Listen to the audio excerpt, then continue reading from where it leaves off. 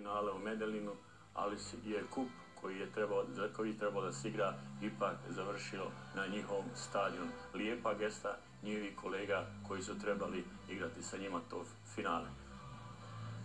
Kutek je bio njihov. Naš kutak večeras je sa nama mentor sudijski, Sead